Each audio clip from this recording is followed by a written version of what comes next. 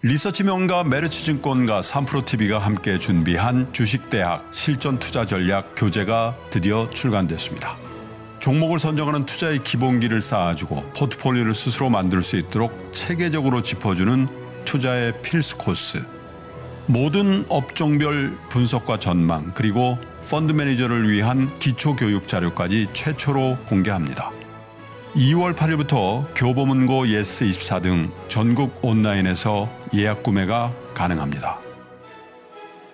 자세한 사항은 페이지 2 공지사항을 참고해 주세요.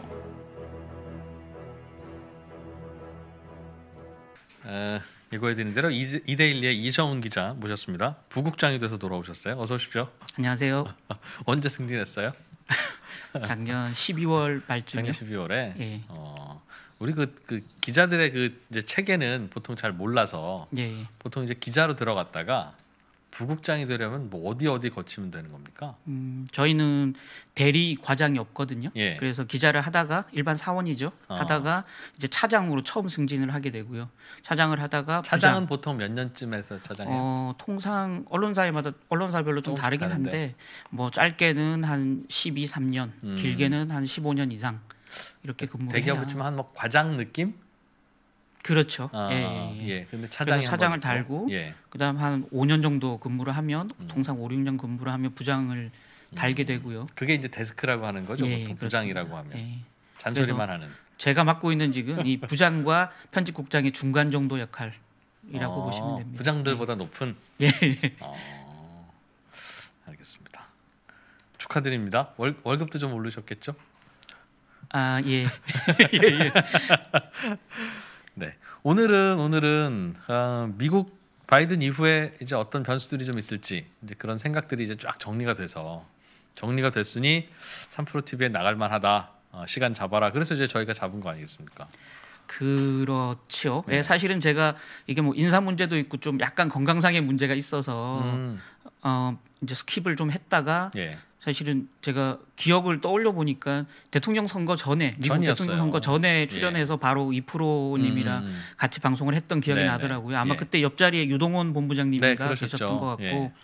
그래서 이제 그 우리 드라마를 보면 이게 시작하기 전에 지난 스토리를 잠깐 음. 설명해 주잖아요. 네. 그래서 제가 마지막에 했던 말씀을 좀 상기시키면서 이 스토리를 좀 풀어나갔으면 그러시죠. 합니다. 예. 그때 이진, 이진호 프로께서 저한테 이렇게 질문하셨죠. 네. 마지막 질문이 어, 미국 대선에서 트럼프가 승리하는 게 증시에 유리하다고 보시는 거죠? 맞아요. 그 질문 드렸어요. 예. 바이든이라고 본다. 바이든 바이든이 좋다. 어, 증시에 훨씬 유리하다고 보고 음. 또 바이든이 그 당선될 경우에 어, 전반적으로 어, 커브가 스티프닝해지고 채권 수익률 곡선이 가팔라지고 음. 달러가 좀 약세로 가면서 네. 신흥국에 굉장히 중국과 한국을 비롯한 신흥국에 큰 기회가 올 거다 이런 말씀을 드리고 사실은 끝났었거든요. 그게 12월 1월이었죠.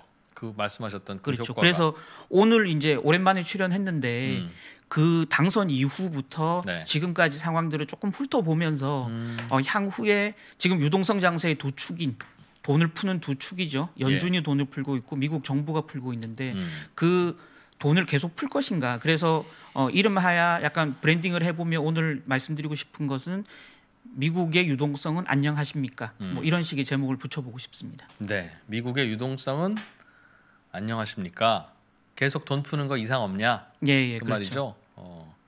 아 이거 결론부터 듣고 싶은데 한번 들어보죠 그럼. 네, 예. 이상 없는지. 예, 안녕하더라고요. 결론적으로는. 아, 결론적으로 안녕하다. 예, 예. 어, 별 걱정 없다 그럼. 예, 예, 예. 알겠습니다. 좀더 일단은- 편안하게 들어볼 수 있겠네요. 예, 오늘은 뭐 지난 방송에서는 그냥 말로만 떠들었는데 음. 오늘은 좀이 그래프를 보면서 예. 차트를 보면서 술술 좀 넘어갈 수 음, 있도록 알겠습니다. 해보겠습니다. 첫 번째 이제 준비한 화면은 바이든 당선 효과라는 이름 했는데요.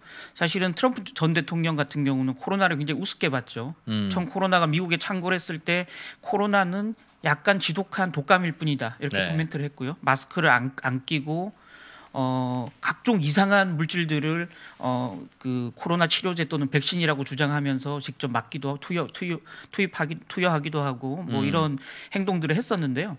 바이든이 대통령 당선된 이후에 코로나에 좀 진지하게 대응하기 시작했다라는 거죠. 그래서 지금 차트를 보시면 어, 붉은색 그 바 차트가 new cases라고 해서 어, 코로나19 신규 확진자를 나타내는 추이거든요. 예. 이게 보면 어, 올 들어서도 뭐 1월 초까지 좀 상승을 하다가 음. 바이든 취임 직전부터 해서 가파르게 지금 확진자 수가 줄어들고 있다라는 거죠. 그래서 저거는 백신 효과 내지는 방역 효과.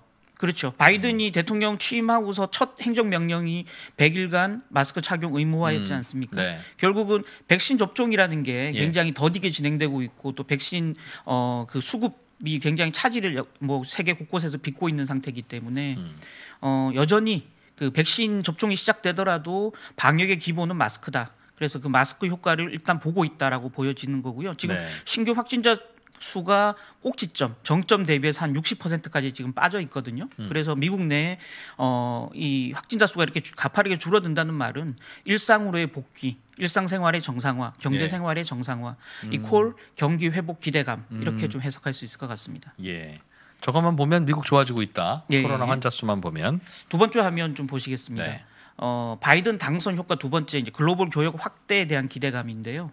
어, 글로벌 교역은 기본적으로 전 세계 미국과 미국이 아닌 국가 간에 물건을 사고 팔 사고 팔면서 주로 미국이 사주 수입하는 방식이죠. 네. 그러면서 달러를 전 세계에 풀어주거든요. 그래서 글로벌 교역량이 늘어난다는 말은 어, 이 글로벌 시장에서 달러 유동성이 늘어난다는 뜻이거든요. 예. 예, 그 말은 달러 가치가 떨어진다는 그런 어떤 이퀄 관계로 그 이어지는 음, 거죠. 그러겠죠. 달러 양이 음. 공급량이 많아지니까요. 지금 차트를 한번 보시면 회색 실선으로 나 있는 회색 같은 경우는 지금까지 추세적으로 나타났던 글로벌 교역 어, 코로나 이후에 가파르게 줄어든 모습 보이죠. 아래로 예, 꽉 꺾여 예. 있다가 지금 어, 2021년부터는 세 가지 갈래로 지금 나와 있습니다. 파란색, 어, 주황색, 회색. 회색 가운데 있는 게 베이스 라인이라고 해서 기본 시나리오죠. 그러니까 음. 정상적으로 간다고 하면 평균적으로 간다고 하면 저렇게 완만하게 예. 약간 U자 형태로 올라가는 글로벌 교역량이 늘어날 것이다라는 거고요. 예. 파란색 같은 경우는 가파르게 V자로 이제 교역량이 증가하게 되는 거죠. 저 음. 경우는 어떤 경우냐면 두 가지. 코로나 백신이 접종이 전 세계에서 원활하게 이루어지고 또 어, 바이든이 트럼프와 달리 보호 무역주의를 어, 없애고 어, 글로벌 교역량을 활, 글로벌 교역을 활성화시키는 정책을 편다고 전제했을 때 저렇게 가파르게 교역량이 늘어날 수 있다라는 음. 게 WTO 세계 무역 기구의 전망입니다. 교역량은 그래도 많이 빠졌네요. 그렇죠. 어. 예. 그래도 여기 초록색 점선으로 돼 있는 게 예. 최근 9년간의 평균치거든요. 음. 아 8년간이네. 8년간 평균치인데 저 곧- 평균 추세를 아직 못 쫓아가고 있죠. 그렇긴 한데 곧 따라 잡을 수도 있겠네요. 잘 되면. 그렇죠. 네. 예, 예. 어쨌든 교역량이 의미 있게 늘어나면 어, 달러 유동성이 좋아져서 달러 음. 가치가 좀 하락하면서 신흥국 시장의 기회가 될 수 있다. 뭐 이런 이제 말씀이고요. 저거는 미중 간의 사이가 얼마나 좋아지거나 또는 나빠지느냐에 따라서 영향도 받겠죠. 그렇죠. 지금 약간 뭐 그 민주주의 뭐 이- 가치라든지 인권 문제로 약간 충돌하고 있지만 예. 교역에 관한 한은 아직은 뭐 큰 지장은 없는 상태다. 이렇게 좀 볼 수 있을 것 같습니다. 그래서 예. 세 번째 한번 보시죠. 세 번째는 재정 부양 확대입니다. 뭐 바이든이 당선된 이후에 대통령 음. 취임하기 전부터 사실은 공화당과 계속 추가 재정 패키지 논의를 계속 해왔죠. 그러다가 이제 그 대통령 취임 전에는 사실 어려움을 좀 겪긴 했지만 어쨌든 추세적으로 계속 그 초록색 같은 경우는 지금 미국 국채 적자 국채를 발행한 규모거든요. 발행량을 계속 늘려서 정부 재정 지출에 늘려왔다라는 거고요. 예. 주황색 같은 경우는 연준이 어, 자산을 매입한 대차대조법 확대를 통해서 자산을 매입한 거고요. 어쨌든 양방향으로 위아래로 합치면 돈 푼 양이네요. 그렇죠. 음. 예. 그래서 돈을 많이 풀고 있다. 이게 이제 세 번째 효과라고 볼 수 있을 것 같습니다. 음. 결국 이렇게 세 가지 효과가 합쳐져서 예. 달러 가치는 약해졌고 어, 시장 금리는 위로 올라갔고 음. 주식 시장은 강해졌고 예. 각종 위험 자산 선호가 계속 나타났다. 음. 이렇게 정리해 볼 수 있겠죠. 요 얘기할 때 평, 평소에 좀 상식으로 알아두려고 한번 그냥 살짝 여쭤보는 게 예. 어느 나라에서 돈을 풀면 그 나라 돈 가치는 떨어진다는 설명은 직관적으로 이해가 되는데 예. 그 나라가 돈 풀면 그 나라 경기가 좋아질 거 아니겠습니까? 네네. 또 어느 나라 경기가 좋아지면 그 나라로 또 돈이 쏠리니까 그 나라 통화는 강세가 될 것도 같아요. 예. 예. 그러니 어느 나라에서 돈 풀어서 경기가 좋아지면 그 나라 통화는 약세가 되는 거야, 강세가 되는 거야. 잘 모르겠어서 그렇죠. 예, 그 뭐예요? 그게 답 어쨌든 간에 이 그 환율 통화 예. 가치라는 건 상대성이거든요. 예. 지금 어 그 미국 시장이 이렇게 가파르게 미국 정부나 연준이 돈을 풀고 있지만 음. 최근 달러는 약간 강세로 가고 있지 않습니까? 그렇기도 해요 예. 또. 예. 왜 강세로 가느냐? 유로화가 너무 약하기 때문이죠. 그러니까 미국의 음. 달러 인덱스에 포함되는 여섯 개 통화 가운데 네. 가장 많은 포션을 차지하는 20, 30% 가까이가 유로화거든요. 음. 그 유로화가 상대 상대 가치가 사실은 달러 가치를 좌우하는 가장 큰 요소 중에 하나입니다. 예. 근데 유럽 같은 경우는 지금 영국 백신 접종이 이루어졌지 빠르게 이루어지고 있지만 다른 EU 국가들은 백신을 못 구해서 난리거든요. 음. 또 여전히 뭐 포르투갈이나 스페인 같은 나라는 확진자가 빠르게 늘어나고 있죠. 그러다 보니까 지금 어, 유로존 같은 경우는 double dip 우려 감들도 나타나고 있거든요. 네, 디플레이션 우려도 있고요. 음. 그러다 보니까 전반적으로 미국 경제가 유로존보다 훨씬 양호한 흐름을 보이고 있고 음. 코로나 통제도 잘 되고 있고 예. 그러다 보니까 상대적으로 달러 가치가 유로화 비해서 굉장히 강해지는 거죠. 음. 알겠어요. 그렇죠. 다만 반대로 어, 아시아, 어, 어. 뭐 중국이나 우리나라 같은 통화 가치에 비해서는 달러는 좀 상대적으로 약할 수밖에 없겠죠. 중국은 워낙 잘 나가니까. 어디서 돈 푼다 안 푼다로 그 나라 통화 가치를 결정하는 건 아니고 네네. 결국은 그 나라 통화가 자꾸 바깥으로 나가냐 아니면 안 나가고 되돌아오냐 거기에 따라서 달려 있는 거다 이거죠. 네. 그렇죠. 그러니까 통화 가치를 좌우하는 변수는 굉장히 다양한데 아, 어떤 게 크게 작용하느냐를 좀 사실은 봐야 될 것 같습니다. 맞아. 저희 애들도 용돈 주면 자꾸 바깥으로 나가니까 얘는 돈 주면 나가나? 이제 이렇게 생각은 했는데 음. 내가 돈 풀면 쟤네는 나가나? 이제 이렇게 생각했는데 비가 오거나 음. 친구랑 싸웠거나 뭐 이러면 그냥 그걸로 집에서 치킨 시켜 먹고 그러니까 또 안 나가면 거기에 음. 따라서 환율은 또 달라지는 거구나. 아, 알겠습니다.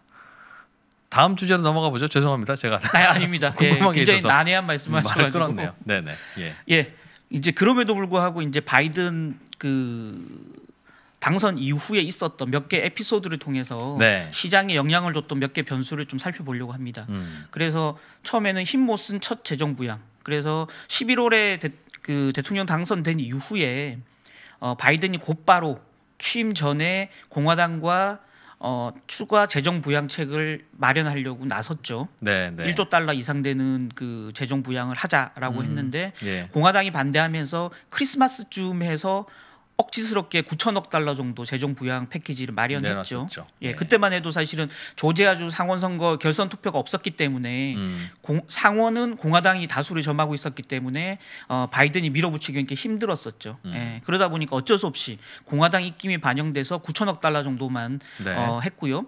그러다 보니까 작년 대통령 당선 이후에 트럼프 바이든이 당선된 이후에 재정 지출을 할 수가 없었어요. 적극적으로 음, 할 음. 수가 없었어요. 네. 그러다 보니까 어쩔 수 없이 연준에 좀 팔을 비틀어서 음. 야 니들이 돈 좀 풀어라. 음. 음. 그래서 여기 차트를 한번 보시면 연준의 자산 자산 항목이 어떻게 어떻게 늘어났나를 보실 수 있는데요. 네. 12월에 상대적으로 좀 가파르게 곡선이 위로 올라가는 모습을 좀 보여주고 지금 있다는 보고 있는 거죠. 저 그래프는 연준이 풀어내는 돈의 양. 연준이 어 책, 그러니까 금융기관들이 가지고 있는 채권을 매입해서 예. 시중에 돈을 풀었던 그 양이죠. 예 그렇죠. 그래서 12월 여기 아래 차트 보시면 12월부터 가파르게 좀 위로 올라가는 그러네요. 모습 예. 보이죠. 예. 저때 이제 재정이 제 역할을 못하다 보니까 연준이 대신 총대를 맸다라는 음. 거죠. 그래서 우리는 어, 최근 들어서 연준은 어, 적극적으로 돈을 안 풀고 놀고 있었다 이렇게 네. 인식하는데 예. 하- 그때 그때마다 정부가 필요로 할 때마다 이렇게 협조해서 음. 총대를 매주고 있다. 그래서 연준의 돈 풀기는 여전히 안녕하다 이렇게 좀 말씀드리고 저렇게 싶습니다. 되면 시중에 채권을 사들이면 채권 갖고 있었던 사람은 현금을 갖게 되고 그렇죠. 그러면 이제 이자율은 내려가는 효과는 있을 텐데 그렇게 되면 돈이 풀리는 건 또 그 다음에 변수가 있겠죠. 그렇죠. 그러니까 그 받아서. 연준이 예. 자산 매입을 한다는 건 음. 입찰을 붙이거든요. 네. 정해진 금리를 제시하고 어 채권을 가지고 있는 금융회사들로부터 이렇게 경매 경매 방식으로 네, 네. 그 호가를 받습니다. 그래 그 중에서 어 필요한 매, 매입하려고 하는 양만큼만 음, 음. 이렇게 낙찰을 시키거든요. 네, 네. 그러면 연준이 푼 돈, 채권을 사기 위해서 풀어준 돈은 금융회사로 가게 돼 있습니다. 은행들에 네, 가게 돼? 있습니다. 어.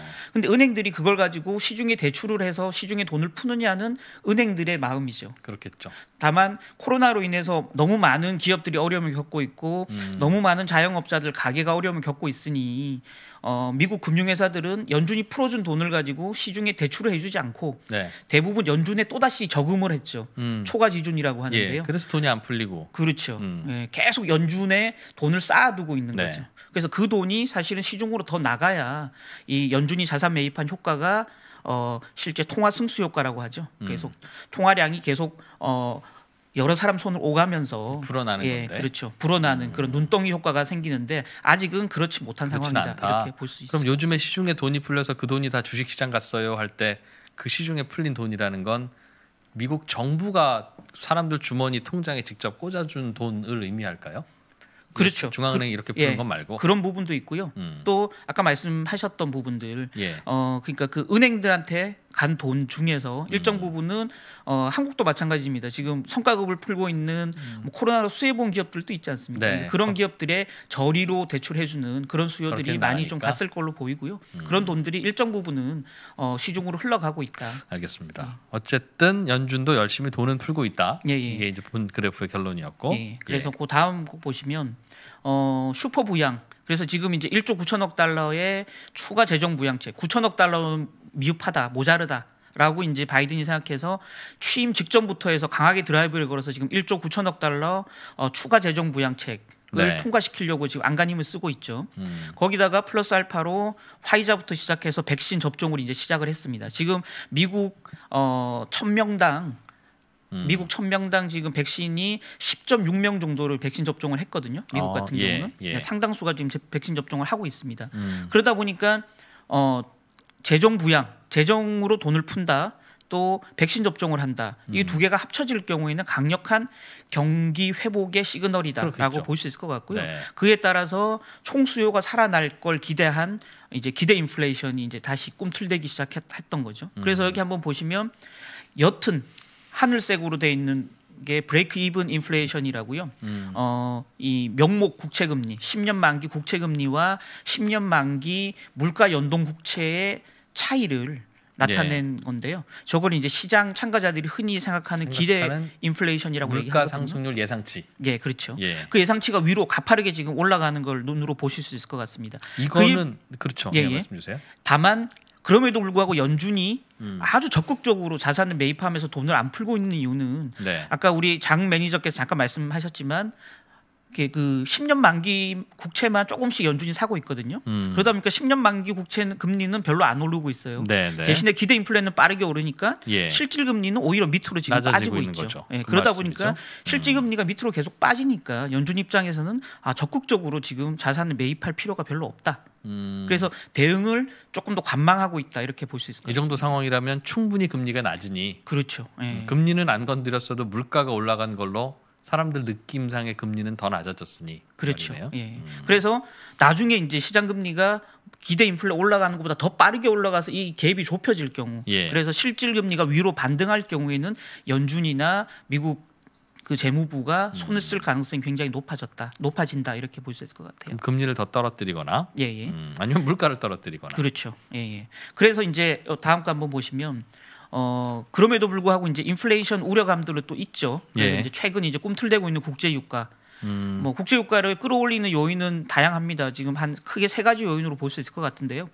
일단 산유국들, 사우디를 비롯한 오펙 국가들이 감산을 한 3월까지 계속 하겠다고 하고 있고요. 예. 러시아 같은 경우는 어 증산을 한다고 했는데 실질적으로 많이 늘리지를 못하고 있어요. 예.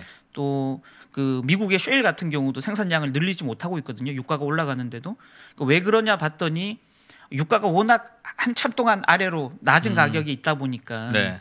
돈을 많이 벌어놓지 못해서 생산 설비를 미리 그때 그때 음. 투자하지 못해서 음, 음. 지금 갑자기 유가가 올라가는데 더 생산량을 늘리지? 못하는 어, 또 이제 최근에 ESG라고 해서 착한 투자 이렇게 네. 얘기하죠. ESG 투자가 워낙 전 세계에 붐을 이루다 보니까 또 기름 투자 못한다. 특히 이제 이런 화석 연료를 떼는 그 기업들한테 돈을 잘 안 빌려줘요 요즘은. 그러다 보니까 그 회사들이 급전을 땡겨서 설비 투자를 늘릴 수 있을 만한 여력이 안, 안 생기고 있다라는 거죠.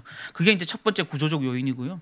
두 번째는 아까 말씀드렸던 경기 회복 기대감이 음. 어, 석유 원유 수요를 살릴 거다라는 기대로 이어지고 있다라는 거고요. 세 번째는 아시다시피 너무 많이 퍼져 있는 유동성이 계속 네. 이 원자재 시장으로도 흘러가고 있다라는 거죠. 음. 그래서 지금 헤지 펀드 같은 경우가 이 원유 시장에 long position을 굉장히 많이 잡고 있거든요. 네. 그래서 그 걔들이 사실은 가격을 위로 적극적으로 끌어올리는 주, 주도 세력이다라고 볼 수 있을 것 같습니다. 이래서 몇 개월 후에 예를 들면 6개월 후에 선물 가격이 올라가는 건 이해는 돼요. 그때쯤 네. 되면 어, 많이 사람들이 돌아다닐 거니까 유가도 올릴 거야라고 해서 선물 투자자들이 높게 살 수 있으니까. 예, 예. 그런데 현물 가격은 당장 수요가 있어야 되잖아요. 예, 그런데 그렇죠. 지금은 기대감은 충분하지만 백신 접종도 이제 시작돼서 그렇지 사람들이 두려워하는 코로나 상황은 지금이 어찌 보면 피크치고 조금 내려온 상황일 텐데 예. 비행기도 아직 못 뜨고 그러면 어디서 수요가 늘어나서 이렇게 유가가 실제로 오르지? 뭐 난방유 정도인데도 이렇게 올랐나? 이제 이게 궁금해서요. 그러니까 지금 저희가 말하는 국제 유가는 선물 가격이거든요. 아 예. 예. 그래서 사실은 그 드럼통을 집에 놔두고 음. 원유를 사서 그 드럼통을 채우는 사람은 없지 않습니까? 예, 예. 그래서 실제로 원유를 그 가지고 와야 되는 실물 음. 인수도라고 하는데 원유를 가지고 와야 되는 사람도 필요한 시점에 맞춰서 선물을 사거든요. 음. 그래서 우리가 흔히 말하는 국제 유가는 다 선물 가격을 얘기하는 거고요. 그게 한두 달 사이에 한두 달 후에 근월물일 텐데. 예, 그렇죠. 어, 예, 예. 그 그래서 정도면 사실은 실제적으로 그게 필요한 그 실물 실수요자들 같은 경우 원유를 직접 받고요. 네. 가- 각 나라에 이제 물류 창고들이 있거든요. 음. 거기서 이제 원유를 실제 가져오는 거고요. 그렇지 않은 경우는 그때 그때 가격, 자기가 샀던 가격에서 팔았던 가격의 예. 가격 차이를 현금으로 이제 정산받게 되는 거죠. 그래서 한두 달 후 정도면 충분히 실수요도 늘어날 걸로 시장은 본다. 예, 예. 이 정도 수요로. 예, 예. 음, 알겠습니다. 그래서 이렇게 유가가 계속 위로 올라간다면 아까 위로 올라가던 기대 인플레이션이 더 좀 가파르게 올라갈 그렇겠죠? 수도 있지 않을까. 예. 그게 불안한데 과연 거기에 연준은 어떻게 대응할까라는 걸 이제 그 다음 얘기를 해보고 싶 해보고 싶은 겁니다. 네. 지금 이제 기대 인플레가 위로 올라가고 국제 유가도 올라가는데 연준은 어떻게 대응하고 있나? 음. 아까 말씀드렸지만 필요한 때는 적극적으로 자산을 사고 있다 라는 거죠. 그래서 장기 국채를 집중적으로 지금 연준은 사고 있다. 예. 한번 여기 두 개의 차트를 보시면 파란색 같은 경우는 기대 인플레이션이거든요. 기대 인플레이션이 이렇게 올라가면 네. 국채 가격, 국채 금리도 따라서 올라가기 마련입니다. 음, 어, 그렇겠죠. 예. 근데 지금 가격 차이가 금리 양 그 그래프의 차이가 굉장히 많이 벌어져 있죠. 음. 최근 10년 정도로 봐도 가장 많이 벌어져 있는 거거든요. 금리는 별로 안 오른다. 예. 예. 왜 그러냐? 이 10년물 금리를 누군가가 잡고 있는 거죠. 못 올라가게. 예. 예. 그 세력의 일정 부분은 연준이 연준이 어, 10년물을 사면서 계속 일정 부분 막아내주고 있다라는 거죠. 음, 그래서 어 실물 그러니까 실 10년물 금리를 이렇게 약간 밑으로 좀 잡아두니까 네. 실질 금리는 아래로 계속 내려가고 음, 그래서 시장은 큰 혼란 없이 계속 시장- 금리가 올라가는데도 안정적으로 시장이 가고 있다. 주식시장 입장에서는 좋은 예. 신호인데 연준이 놀고 있지 않다 이렇게 음. 말씀드리고 싶습니다. 여기서도 주- 질문이 하나 좀 궁금한 게 네. 평소에 있었던 게 하나 있어서 좀 여쭤보려고 하면 이 기대 인플레라고 하는 건 사람들의 마음 속에 있는 향후의 물가 상승률 정도 아니겠습니까? 예.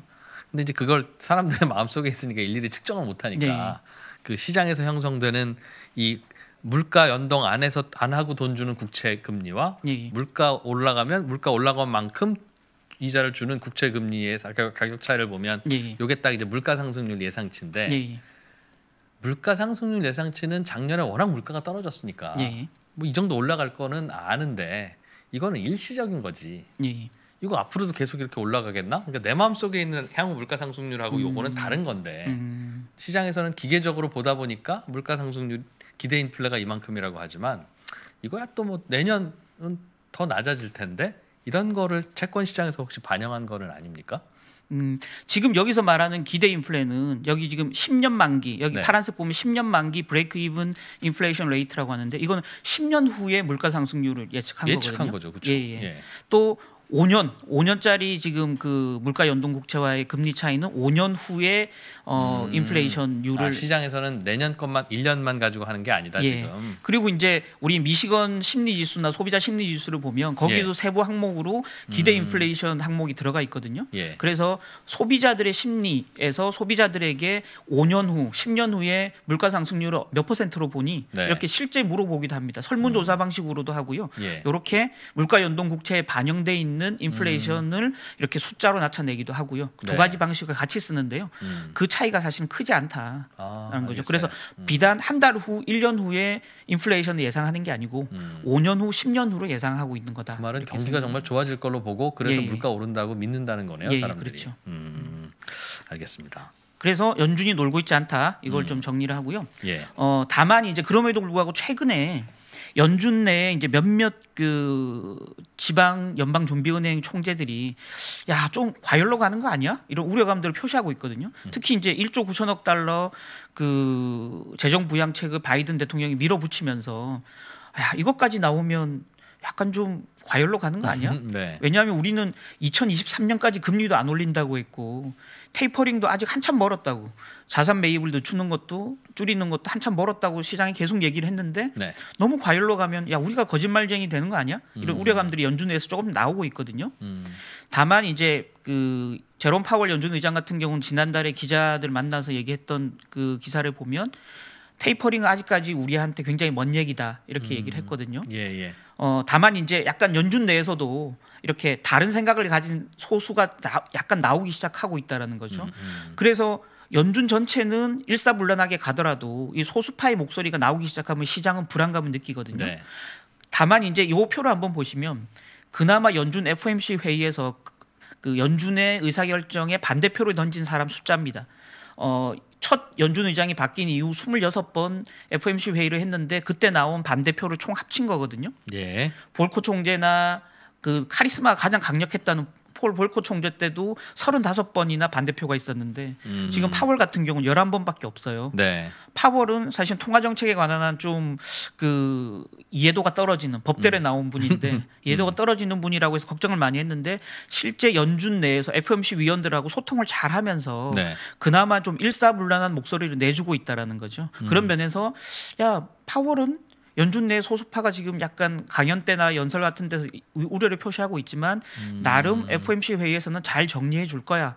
라는 네. 기대감들이 여전히 남아 있다는 거고요. 그런 면에서는 연준으로부터 노이즈는 상대적으로 적을 것이다라는 기대감이 살아 있다라는 거죠. 음, 옛날에 비해서 자주 트위터도 나오고 뭐 이래서 그렇지 네, 실제로는 그렇죠, 그렇죠. 실제로는 별로 음, 이견들이 없는 상태다. 예, 예, 이 예. 정도는 음, 그래서 이제 그 요 내용을 총 정리를 해보면 네. 결국 연준은 어 우리가 놀았다고 생각하는 작년 말에부터도 필요한 때마다 자산을 매입하고 있고 다만 그 매입 속도는 많이 줄었다. 월한1,200 1,200억 달러 정도만 사고 있거든요. 예, 예. 다만 필요한 구석구석 특히 이제 10년물처럼 위로 올라가는 힘이 굉장히 강한 음, 금리가 빠르게 올라가는 그 구간에서만 집중적으로 국채를 사면서 음. 그 실, 실질 금리를 아래로 떨어뜨리는 역할을 해주고 있다라는 거죠. 네, 예. 그리고 파월이 일사불란하게 연준을 잘 통제하고 있기 때문에 노이즈도 상대적으로 좀 적을 것이다. 그래서 어. 연준은 일단 좀 우리가 안심하고 봐도 되겠다라는 거고요. 이제 두 번째는 어, 유동성 장세의 두 번째 축인 미국 정부 역할을 네, 한번 예. 좀 봤으면 좋겠다는 네. 겁니다.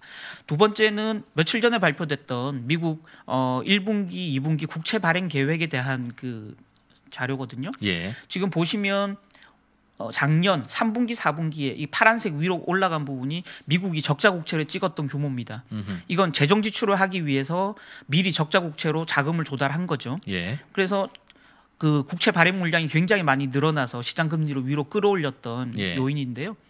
지금 이 그 붉은색으로 된 부분 빼고 음. 어, 파란색 보면 미국 재무부가 발표한 국채 발행 계획입니다. 실제로 어, 발행량이 굉장히 적거나 음. 오히려 발행을 지금 줄이죠. 상환 그러니까 현금으로 상환하는 양을 더 늘려서 발행량보다 상환량을 더 늘려서 전체적으로 국채 발행 물량을 굉장히 압축적으로 가져간다라는 거죠. 음. 그래서 시장에 그 물량 공급량이 늘어나서 시장 금리가 더 위로 올라가는 걸 일정 부분 막아준다라는. 거죠. 예. 다만 이 붉은색은 바이든이 이제 추가로 지금 추진하고 있는 1조 9천억 달러 재정 부양책이 확정될 경우에 늘어날 수 있는 물량이거든요. 음. 그렇게 되면 이제 적자 국채 발행량 부담은 좀 커질 수밖에. 없는데 예. 이 역시 좀 분산해서 발행될 가능성이 있다라는 음. 점에서 기존 물량이 워낙 적기 때문에 시장 금리는 이로 인해서 가파르게 올라갈 가능성은 크지 않을 가능성이 있다.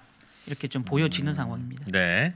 예. 그러면 어, 미국 재무부가 왜 이렇게 올 사- 상반기에 국채 발행 물량을 줄일 수 있었냐? 라는 거죠. 그 이유를 살펴보기 위해서 이 다음 차트를 한번 보시면 이게 이제 제가 이름을 그 재무부의 비상금 계좌라고 이름 붙였는데요. 이게 TGA라는 겁니다. 그래서 Treasury 재무부를 뜻하고요. 그래서 그 General Account 일반 계좌입니다. 그래서 재무부 통장. 예. 재무부는 미국 연준의 통장을 가지고 있어요. 예. 그 통장이 뭐냐면 재무부는 세금도 관리하거든요. 음. 그래서 법인세나 이런 세금이 들어오면 일단 필요한 만큼 재정 지출을 하고요. 남는 네. 돈은 이 계좌에 넣어둡니다. 연준에 있는 자기 계좌에 넣어두고요. 예. 또 국채를 발행해서 들어온 자금이 있죠. 그걸 쓰지 않을 때는 여기 또 계좌에 넣어둡니다. 예. 통상 이제 여기 표에 보시면 380 빌리언이라고 돼 있죠. 그래서 음. 최근 한 7년간 보면 한 3,800억 달러 정도를 계속 평균적으로 유지해 왔어요. 이 네. 계좌를. 음. 근데 지금 현재 이 파란색 한 1조 6천억, 7천억 달러 정도 가지고 있거든요. 네. 엄청난 돈을 가지고 있습니다, 지금. 왜 갑자기 이렇게 늘어났어요? 그게 왜냐하면 아까 말씀드렸던 작년 하반기에 적자 국채를 찍었는데 음. 그래서 자금을 엄청 많이 땡겼는데 그걸 풀지 않고 계속 이렇게 아. 자기 비상금 계좌에 가지고 있었다는 거죠. 예, 예. 언제 필요할지 몰라서. 음. 왜냐하면 공화당과의 재정 협상이 잘 안 되다 보니까 네, 네. 정말 재정이 바닥이 났을 때 돈을 풀기 위해서 음. 이 자금을 계속 비상금으로 쌓아두고 있었던 거죠. 아, 국채는 그 대신- 작년에 발행했군요. 그렇죠. 예. 연준을 동원해서 일단은 자산을 좀 유동성을 좀 풀도록 하고 음. 자기들은 계속 비상금을 쌓아왔다는 거죠. 네, 가파르게. 네. 예. 이 비상금을 한꺼번에 풀 가능성이 있다라는 겁니다. 음흠. 그렇게 되면 시장에 어, 재정 재정으로 재정 당국으로부터 유동성이 가파르게 늘어날 가능성이 있다라는 네. 겁니다. 첫 번째는 비정상적으로 지금 많이 계좌를 쌓아두고 있기 때문에 이걸 일정 부분 계속 줄여야 되고요. 왜냐하면 또 그 적자 국채 발행 1조 9천억 달러 그 부양책이 나오면 적자 국채를 찍어서 또 통장에 계속 돈이 쌓이거든요. 네. 그래서 지금 가지고 있는 걸 일정 부분 털어내야 되고요. 음. 두 번째는 올 7월 말이 되면 그 트럼프 대통령 때 있었던 2019년도에 있었던 일시적으로 정부의 부채 한도를 그 적용하지 않는 그래서 마음껏 재정을 풀도록 그 유예했던 조치가 있습니다. 그 조치가 만기가 돌아오거든요. 음. 그래서 그 그게 그 조치가 설명하면 굉장히 긴데요. 그 예. 조치가 어, 연장되지 않으면 이 물량을 줄여야 됩니다. 음. 그래서 이 물량 어쩔 수 없이 시장 내 상반기 내에 풀 가능성이 있고요. 만약에 그게 연장이 된다면 어, 서서히 좀 음. 풀어내야 되는. 그래서 연준은 계속 좀 평균적인 수준으로 자산 매입하면서 유동성을 천천히 풀더라도 재무부는 빠르게 유동성을 늘릴 가능성이 있다. 이미 갖고 있는 돈이 있으니까. 그렇죠. 음. 상반기에는 이 재무부 자금이 폭발적으로 유입될 수 있고 하반기에는 바이든이 지금 추진하는 1조 9천억 달러 유동성이 하반기에 풀릴 수 있다. 그래서 재정 쪽에서는 특히나 연준보다 더 강하게 유동성을 풀 수 있는 그 실탄이라 그러나요? 실탄들이 음. 충분히 있다. 1.9조 통과된 거는 하반기 돼야 나옵니까? 어, 적자 국채를 언제 찍느냐에 따라 다른데요. 예. 시장 부담이 너무 커지면 좀 천천히 찍을 수도 있거든요. 아, 그렇긴 하죠. 예, 그렇게 된다 그러면 이 자금, 비상금 계좌에 있는 자금을 먼저, 먼저 털어. 쓸 수 있는 가능성이 있죠. 그렇겠죠. 예, 예. 음, 그리고 1.9조 풀다가 모자라면 또 이제 적자 국채 만들어서 그렇죠. 찍더라도 예, 지금 현재 이 재무부가 가지고 있는 계좌 잔고가 1조 6천억 달러 전- 정도 예. 되니까 예. 이 중에 상당 부분 반만 털어도 음. 지금 바이든이 추진하는 재정 부양책이 한 반 정도는 되거든요. 네, 네. 엄청난 자금이죠. 음. 우리 돈으로 몇 천조 정도 되는 천조가 넘어가는 돈이 풀릴 수 있으니까요. 네. 어, 시중에는 많은 유동성이 풀릴 수 있다. 이거는 아, 1조 9, 1조 9천억 불 이 비상 계획이 통과됐다는 사실과 같은 얘기인 거죠.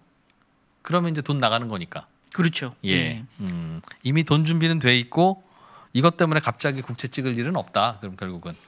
어, 이 두 가지가 좀 다른데요. 네. 이건 작년 말에 찍어놓은 걸 이미 현금으로 가지고 있는 거니까요. 거고요. 예. 어, 또 지금 이제 바이든이 지금 미국 구제 계획이라는 이름으로 음. America Rescue Plan이라는 이름으로 1조 9천억 달러 재정 부양책을 또 마련하는 거거든요. 예. 두 가지가 같이 풀린다는 거죠. 음, 예. 그래서 지금 어, 예산 조정권을 이미 확보를 해서 원래 상원에서는 60표가 나와야 100표 중에 60표가 나와야 음, 이 재정 부양 그러니까 증액한 재정 부양책을 통과시킬 수 있는데 네.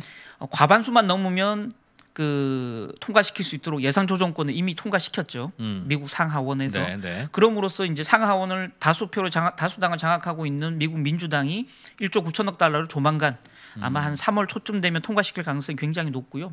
그렇게 된다 그러면 두 가지 그러니까 재정에서 어 재무부의 비상금 계좌 또 바이든이 추진하는 미국 구제 계획의 추가 부양책 이두 가지가 수, 순차적으로 같이 풀릴 수 있다. 그래서 재정 쪽에서 큰 실탄이 터질 수 있다. 이렇게 좀 이해할 수 있을 것 같습니다. 그럼 1점 구조는 따로 재무부과 또 따로 그렇죠.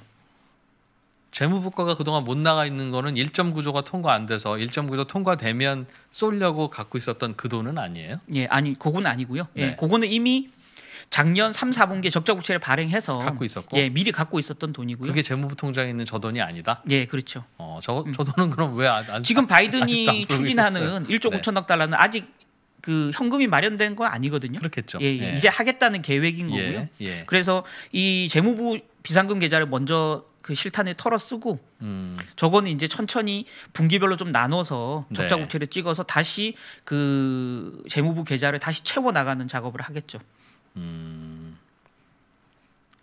알겠어요. 예.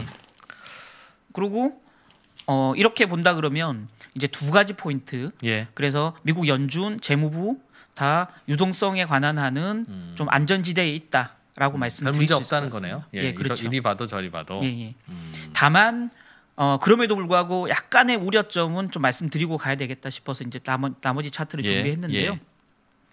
예. 일단은 아까 말씀드렸던 일- 추가적인 1조 9천억 달러 재정 부양 패키지가 발표될 경우에 나눠서 발행하더라도 어, 국채 발행 부담이 좀 있거든요. 음. 그래서 인플레가 좀 쉽사리 꺾이지 않는다면 금리는 계속 조금 위로 올라갈 수 있다. 그래서 국채 발행 물량 예. 때문에. 음. 금리 상승의 부담감은 좀 있을 수 있다라는 거죠. 예, 그래서 예. 금리가 올라가면 음. 어, 지금처럼 좀 달러가 좀 강해질 수 있는 그래서 달러 강세에 대한 부담감이 좀 있을 수 있거든요. 예, 예. 음. 그러니까 이제 그 과거에는 그 중국 같은 경우는 상대적으로 금리를 안 내리다 보니까 중국 국채 금리는 높고 미국 국채는 거의 제로까지 가다 보니까 전 세계 자금이 다 중국으로, 음. 중국으로. 갔죠. 그러니까 중국은 지금 약간 긴축 쪽으로 오히려 가고 음. 있고요. 예. 그러다 보니 근데 지금 이제 중국은 조금씩 금리를 낮췄고 음. 미국은 오히려 이제 금리가 위로 계속 올라가다 보니까 네. 금리 차이가 별로 안 생겨요. 그러다 보니까 자금이 다시 미국 쪽으로 흘러가게 음. 되고 달러는 조금 강해지는 양상을 보이고 있거든요. 요즘 강세가 그 원인이군요. 예. 그래서 네. 달러가 강해진다 그러면 음.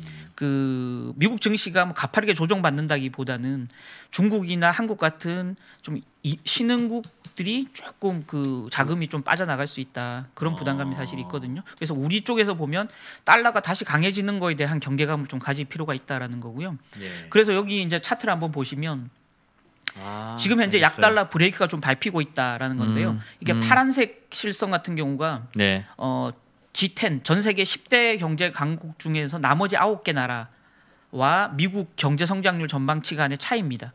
그래서 이게 영 위로 올라간다는 말은 음. 예. 나머지 9개 나라보다 미국 경제 성장률 전망치가 더 좋다라는 거거든요. 음. 그래서 이거 차트를 한번 보시면 미국 영 위로 이제 파란색이 올라간 그래서 미국 성장률이 나머지 9개 나라보다 훨씬 좋을 때는 예. 파란색, 그러니까 하늘색 달러 인덱스 달러 가치도 같이 올라갔거든요. 그래서 음. 미국 경제가 좋을 때는 달러 가치가 항상 올라갔다. 음. 상대성이라고 아까 말씀드렸는데 미국 경제가 상대적으로 더 좋을 때 달러 가치가 항상 올라갔다. 근데 지금 여기 보시면 미국 경제가 더 좋아졌는데 달러 가치는 아주 아래로 빠지고 있죠 오히려. 예. 이게 갭이 벌어지고 있다라는 거죠. 그래서 미국 경제가 꺾이든지 음. 달러가 올라가든지 둘 중에 하나겠죠. 지금은 예. 음. 다만 제가 보기에는 달러 가치가 위로 올라갈, 올라갈 가능성이 더 가능성이 크다. 높고. 그래서 글쎄. 그런 상황이 되면 약간 음. 신흥국 쪽은 약간 도전을 받을 수 있다. 그래서 조금 조심할 필요가 있겠다라는 말씀. 아까 재무부 비상금 계좌에 돈 쌓여 있다는 얘기를 왜 하셨나 싶었는데 네. 그게 쌓여 있으니까 그래도 당장 쓸 돈은 있으니 국채 발행량을 줄일 수 있고 예, 예. 국채 발행량을 줄여야 금리가 튀는 걸 막을 수 있으니 예, 예. 이게 있다는 건 달러 강세가 가파르게는 진행 안 될 수 있다는 변수일 수는 있다. 그렇죠. 이게 그- 가파르게 진행 안 되거나 달러 음. 강세가 좀 더디게 나타날 수 있다. 그게 그러니까 우리나라 주식시장 입장에서는 그나마 든든한 거다 이 말이네요. 그렇죠. 음. 아직까지는 충분히 한 적어도 한 4, 5개월 이상은 충분히 유동성 장세에서 인한 안전지대에 있을 수 있다라는 거죠. 음, 마지막. 차트 하나만 예. 보시면 결국은 경기가 어느 나라가 좋으냐는 백신 접종을 누가 빨리 맞느냐, 그래서 집단 면역을 누가 빨리 달성하느냐거든요. 음, 예, 예. 지금 보면 영국이 가장 빨리 가고 있죠. 음. 16.5명 천- 인구 1000명당. 미국이 10.6명. EU 같은 경우는 지금 굉장히 조달에 백신 조달에 어려움을 겪고 있어요. 그래서 EU에 비해서 미국 경기 경기가 상대적으로 전망이 좋다. 미국 네. 경제 전망이. 그래서 아까 말씀드렸던 유로화에 비해서 달러화가 강해지고 있는 이유다라는 거죠. 그렇겠네요. 그렇게 본다 그러면 뭐 상대적으로 미국 경제가 앞으로 좀 성장률이 좋아질 수 있다. 지금 음. 골드만삭스 같은 경우는 아까 제가 찾아보니까 올해 6.8% 미국 GDP 성장률이 내년도에 4.6%를 전망하고 있거든요. 예. 음. 그래서 성장률 전망치가 굉장히 좋다. 그래서 미국 경제가 어, 굉장히 양호한 흐름을 가져갈 수 음. 있다라고 본다 그러면 어, 좀 시간이 지나면 지날수록 미국 내에서 백신 접종이 빨라지고 또그 금리가 위로 더 올라간다면 조금 더 달러 음. 가치가. 위로 올라갈 가능성이 있다. 그래서 그때까지는 좀 경계감을 가질 필요가 있겠다. 음. 네, 이렇게 말씀드리고 싶습니다.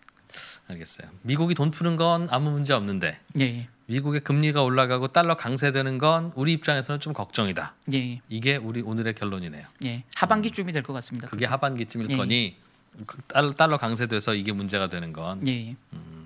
봄의 주식 시장은 뭐 괜찮은 것 같습니다. 네, 그렇게 보고 있습니다. 봐요 이해 잘 되잖아요. 고맙습니다. 아, 오늘 시간이 길지 않아서 많이 못 시간을 못 드렸는데 한번 또 적당할 때 나와주세요. 예, 예. 예. 감사합니다. 이데일리의 이정훈 부국장이었습니다. 고맙습니다.